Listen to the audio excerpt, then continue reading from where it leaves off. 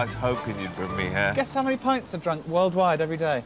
How many? 10 million! 10 million? You're joking. I wouldn't joke ever. You're a fact machine. Are we in heaven?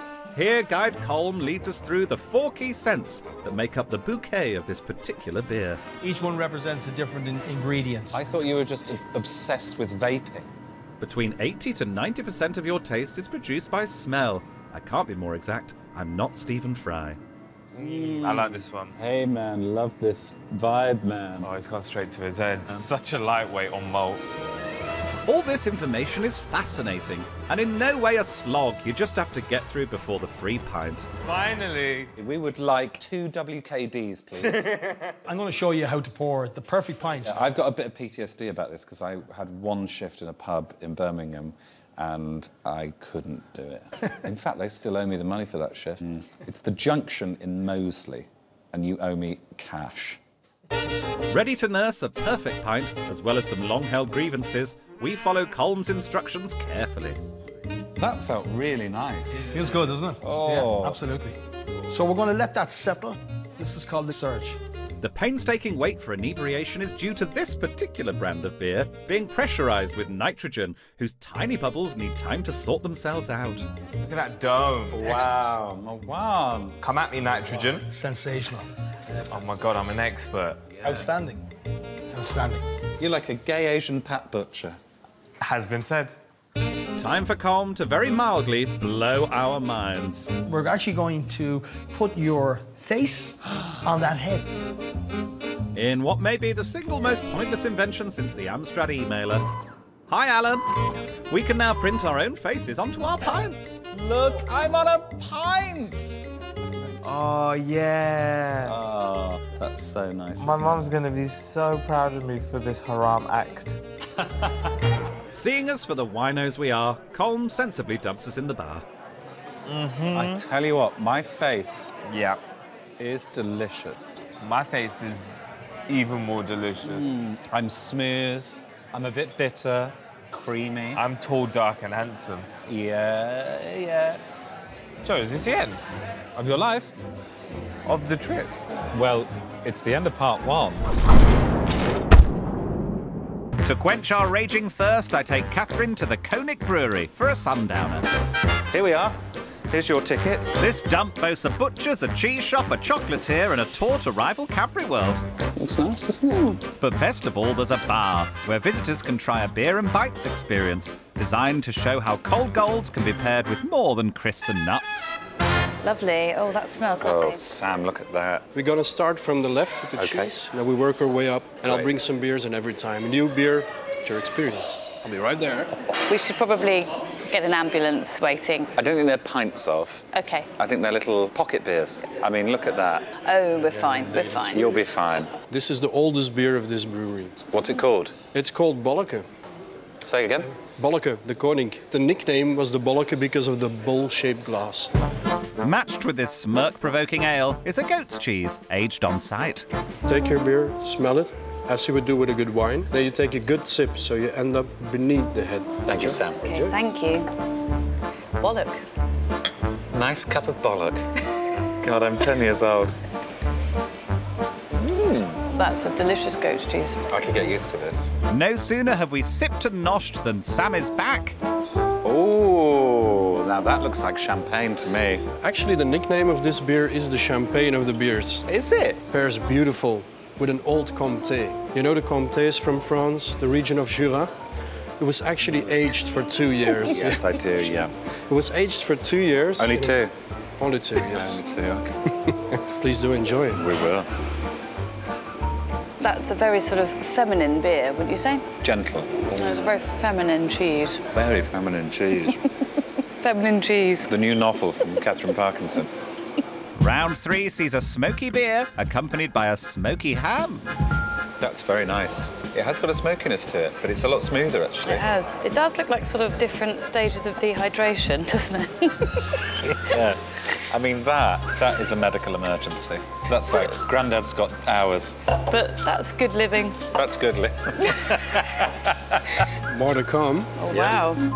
Next on the plate, cured beef. Next in the glass, a pokey Belgian triple. That beer does feel alcoholic. I do feel like I need a lie down. I feel like I need a fight and a lie down. Sam brings pudding. Oh look. Mmm. That's the star of the show, isn't it? And to wash it down, kombucha, a fermented tea. Now, I've struggled with kombucha. Why? I don't know. I love your bedtime stories. Tell me another. How have you found this pairing experience? I've really enjoyed it, but I'm qu- quite drunk. So I enjoy most things when I'm quite drunk, to be honest. I am, I am a bit drunk. Yeah, well, so you should be. Should we just finish the lot? Yeah. Cheers. To the deal. Tired, emotional, confused, and somewhat the worse for kombucha, we decide enough is enough and turn in.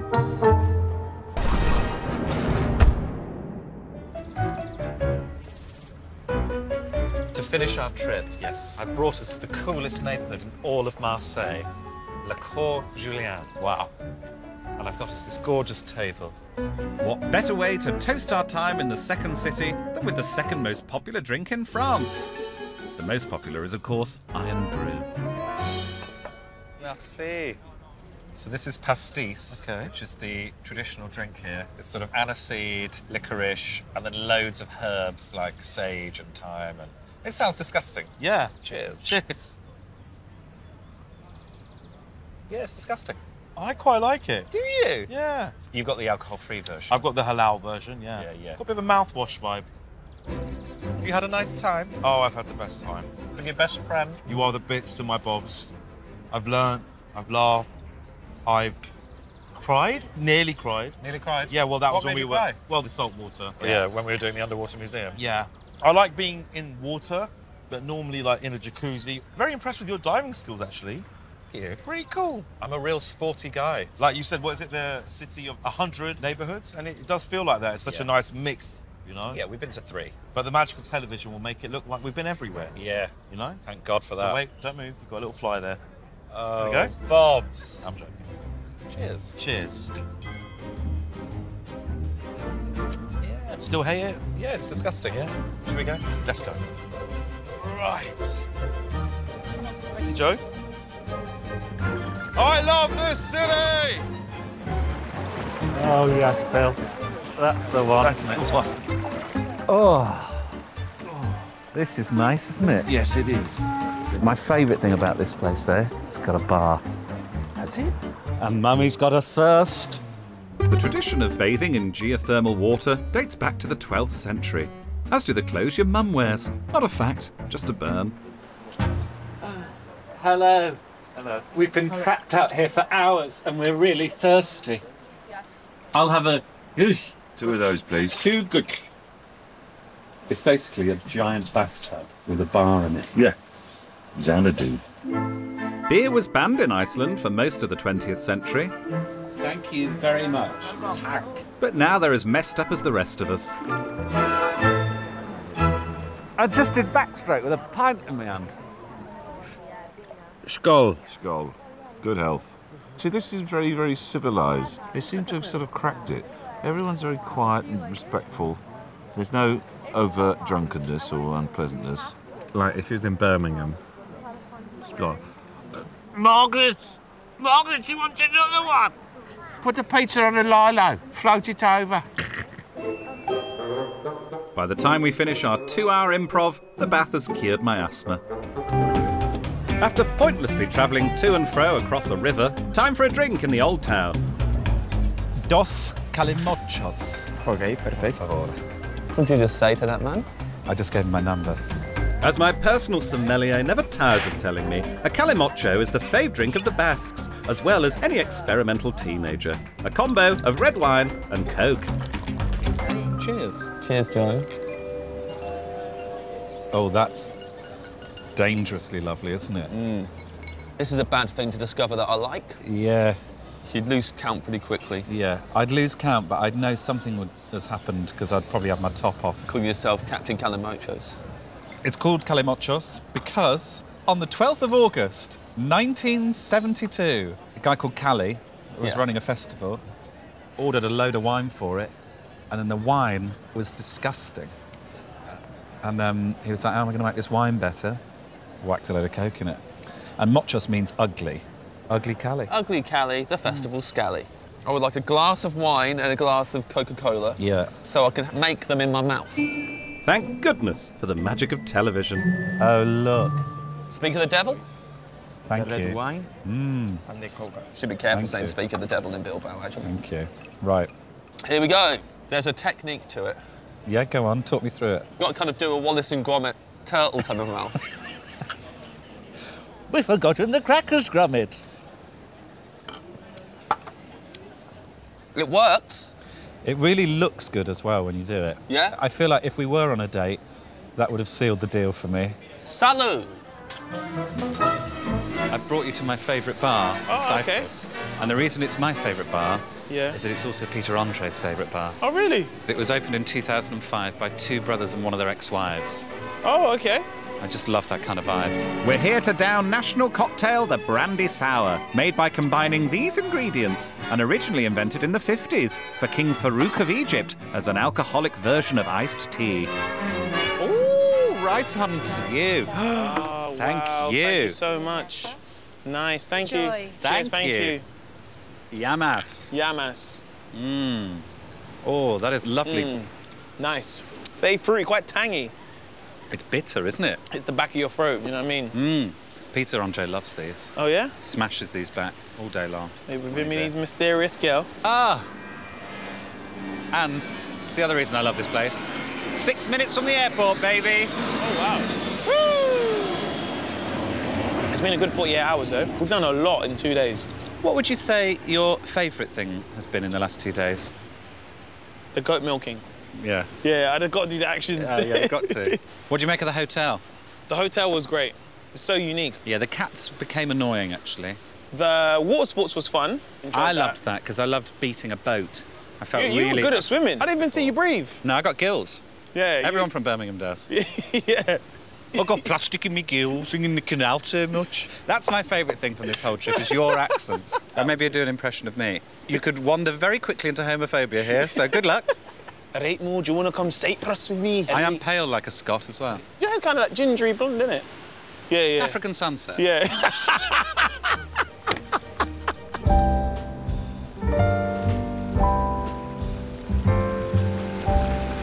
We're in what's known in Croatian as a state of fjaka.